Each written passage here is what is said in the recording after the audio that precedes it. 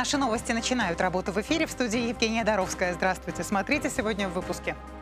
Снежные накаты и колеи убрать, дороги и дворы очистить от снега и налити. Прокуратура вынесла представление мэру Барнаула. В огромных коридорах огромные перспективы. В краевой столице открылась новая школа. Если в садике карантин, как поступить родителям здорового ребенка? Небезопасны для жителей. Такое заключение дала прокуратура после завершения январской проверки барнаульских дорог. Инициировали ее по многочисленным просьбам горожан. В итоге выяснилось, что жалобы обоснованы. В ходе проверки обнаружены снежные накаты, колеи, наледи. Претензии у ревизоров были к очистке дворов от снега. Мэру Барнаула направлено представление об устранении нарушений, а также наказании виновных. Городская прокуратура будет контролировать, как исполняется представление. Вновь работает с сегодняшнего дня Барнаульский торговый центр «Геомаркет» возобновил свою деятельность. Решение принял суд Октябрьского района. Часть арендаторов может приступить к работе уже завтра, 23 января. Стоит отметить, что к прилегающей к торговому центру деловой центр «Гео» продолжал свою работу без каких-либо ограничений. Напомним, в конце прошлого года «Геомаркет» не прошел проверку противопожарной безопасности. В итоге суд постановил закрыть ТЦ до устранения выявленных нарушений. Арендаторы были вынуждены временно переехать в ТЦ «Москва» Москва на Павловском тракте. Все ли вернутся на прежнее место торговли, пока неизвестно. 27 групп в 20 детских садах края закрыты на карантин по ОРВИ и гриппу. Шесть дошкольных учреждений не работают полностью. Число больных детей здесь превысило норму. Ну а что делать тем, кого вирус, к счастью, обошел стороной? Точнее, как быть родителям здоровых детей? Брать на работе отгул или пристроить ребенка к родственникам? Ответ на этот вопрос искала Елена Кузовкина. Один, два, три, четыре, пять. Всего 26 пар обуви из 28. Подготовительная группа Барнаульского детского сада номер 226 практически в полном составе.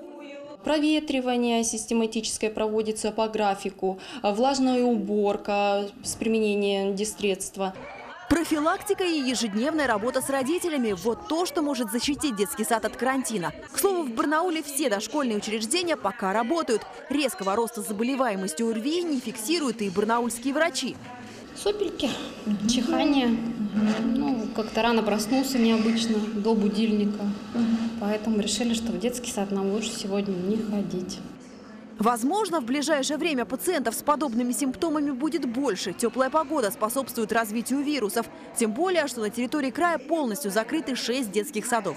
Как в этом случае вести себя родителям здоровых детей? Врачи советуют обращаться за помощью в медицинские учреждения и тоже идти на больничный до снятия карантина. Должна быть на руках справка от, из детского сада от заведующей о том, что действительно в детском саду карантин по острой респираторной вирусной инфекции. Вот, на основании этой справки мы даем листочек нетрудоспособности по карантину. Важный нюанс – оформлять больничный лист необходимо в тот день, когда в детском саду официально объявлен карантин. С этого момента и будут начислять пособия по нетрудоспособности. В случае заболевания самого застрахованного лица э, обязанность по оплате первых дней э, временной трудоспособности, первых трех дней, является обязанностью работодателя. Начиная с четвертого дня пособие выплачивается за счет средств фонда. В случае заболевания э, члена семьи застрахованного гражданина, либо в случае карантина пособие с первого дня назначается и выплачивается за счет средств фонда. А вот родителям школьников на больничный в случае карантина в учебном заведении рассчитывать не приходится. Если ваш ребенок здоров, листок нетрудоспособности могут оформить только если чаду не больше 7 лет. Кстати, сейчас в крае из-за карантина учебный процесс приостановлен полностью только в двух школах. Елена Кузовкина, Алексей Фризин. Наши новости. В индустриальном районе Барнаула сегодня открыли новую школу. Почти две недели здесь учатся около тысячи ребят. Перешли они из соседних школ и уже успели оценить новое учреждение. К примеру, возможность участия во всероссийских олимпиадах или создание собственной музыкальной группы. Анастасия Дороган продолжит. Все юное население района в одном месте недалеко от дома. Теперь это школа – центр квартала. Ее открыли 10 января, а здание уже полное. 31 класс, 20 из них – начальная школа. Микрорайон новый, молодой микрорайон, поэтому количество именно этого да, детского населения, оно в больших количествах. В огромных коридорах детям сулят огромные перспективы. Для этого есть все – современное оборудование, проекторы, лаборатории по физике и химии. Это для исследований и конкурсов. Даже трудовой набор вызывает восхищение. У нас имеется инструментальная, где дети ну, с таким удивлением заходят и ахают, дескать. Вау, сколько много инструментов. Это очень, конечно. Дети в данное время в других предыдущих школах, с которых пришли, они этого не видели. В будущем в этой школе планируют создать целый ансамбль. Здесь уже есть синтезатор, даже барабанная установка, на которой уже играют самые маленькие. Дим, сыграй. Музыкальный класс – еще одна специфика школы. Вообще здесь к любым предметам подходят серьезно. Что из этого взять, дети решат сами. Здание возвели в рекордные сроки, меньше чем за год. Коллектив тоже собрали быстро. Дети уже оценили своего учителя. Здесь были э, строй, который э, нормально может обучать, не то, что нас был предыдущий такой нежный. На открытии школы сегодня побывали глава города Сергей Дугин и губернатор Виктор Томенко. По словам мэра, за последние пару лет это уже третья новая школа Барнаула. Сегодня 70% детей учатся в одну смену, и мы дополнительно перевели на односменный режим учебы 5 тысяч детей. Начиная с 2019 по 2025 программа действует до 2025 года, мы должны будем построить еще 9 школ и 7 пристроек. Еще одно учреждение в этом году сдадут в Барнауле на улице Взлетной, а в пригородном поселке Власиха появится пристройка к школе, которую ждут много лет. Всего в рамках федеральной программы только в школьной сфере Барнаула создадут 19 объектов. Анастасия Дорога, Николай Шилко. Наши новости. И сегодня же в Алтайском крае дан старт реализации нацпроекта «Образование». После открытия школы представители власти и педагоги провели круглый стол, где обсудили главные вопросы национального проекта. Губернатор Виктор Томенко подчеркнул, что наш регион участвует в восьми направлениях национальных проектов из десяти возможных. Существенную поддержку планирует оказать в рамках материально-технического обеспечения и строительства новых школ.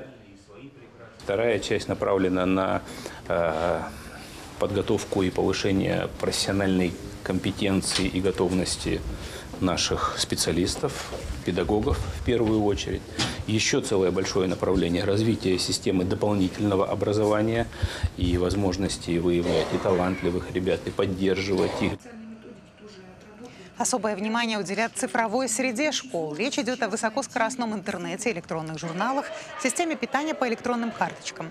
По словам главы региона, на первые три года нацпроекта сумма финансирования составит 3 миллиарда рублей. Половина средств федеральных, другая половина – краевых.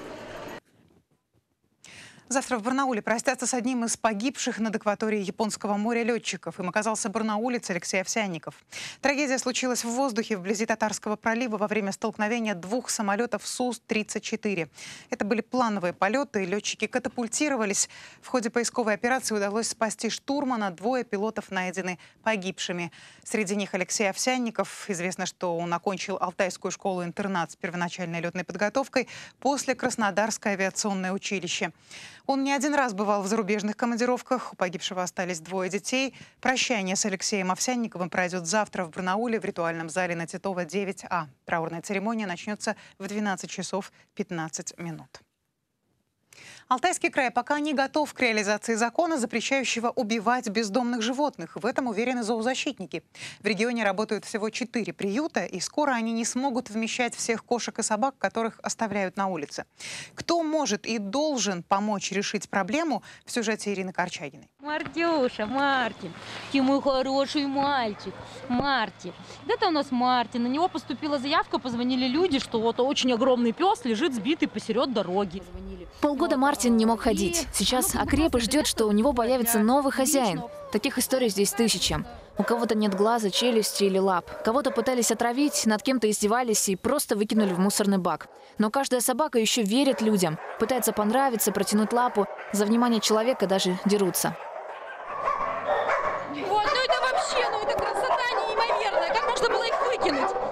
Закон, запрещающий усыпление животных, общественники ждали 8 лет, говорит Софья Куликова. Несколько лет подряд приют «Ласка» выигрывал тендер на отлов бродячих кошек и собак в Барнауле.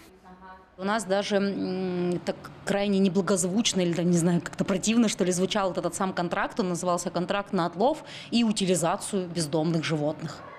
В Ласке никогда не убивали животных только потому, что их бросили хозяева. Кошек и собак оставляют в приюте, ищут им семьи. Такому же гуманному принципу следуют приюты в Бийске, Рубцовске и Заринске. Все они существуют только на спонсорскую помощь. Муниципальных приютов, как, например, в Новосибирске, в нашем регионе нет.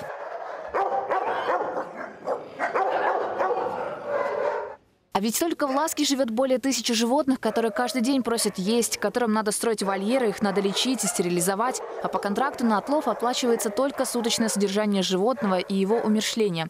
То есть власти и раньше давали выбор, усыплять или нет. Но при этом условия документа не покрывают траты приюта. Софья Куликова говорит, что для обеспечения нового закона в крае не создана инфраструктура. Известно, что на весь регион ежегодно выделяется 8 миллионов рублей на отлов бездомных животных. Больше половины муниципалитетов эти деньги не осваивают. На те условия, которые прописаны, не находится подрядчик. Ну, то есть, э, и те же главы муниципальных образований говорят, а мне с кем подписывать договор, кто мне их будет содержать, если у меня ни приюта, ничего нету. Ну, то есть, либо это надо идти умышленно нарушение закона, да, и вот, ну, как бы всех, что называется, убивать, да, либо э, как-то кто-то должен создать эту, эту инфраструктуру, кто-то должен сварить эти вольеры, а это тоже очень дорого. Но федеральный закон так или иначе обяжет властей найти выход из ситуации. Ведь отстреливать бездомных собак и кошек уже нельзя. Хотя, несмотря на новые правила, на днях, как сообщили нам в Ласке, в барнаульском поселке Авиаторы и на улице Георгия Исакова массово отравили собак. Видимо, пока не все представители Homo sapiens поняли, что и у животных тоже появилось право на жизнь. Ирина Корчагина, Андрей Печоркин. Наши новости. Танцевальный ансамбль «Огоньки» едет в Китай. Новый год по восточному календарю в городе Сиань собираются отметить грандиозным международным фестивалем. Представлять на нем Россию пригласили алтайский коллектив. По три выступления каждый день и так почти весь февраль. Ансамбль «Огоньки» Алтайской филармонии отправляется на гастроли в Поднебесную. Туда на праздник весны, он же китайский Новый год, приглашены 17 стран. Но Россию ждут особенно. А скажите, а уже в Китае бывал? Э... Огоньки, да? Да, да, да. И как китайцы реагируют, как встречают? Ой, да шикарно. Всегда, во-первых, они очень любят русскую культуру.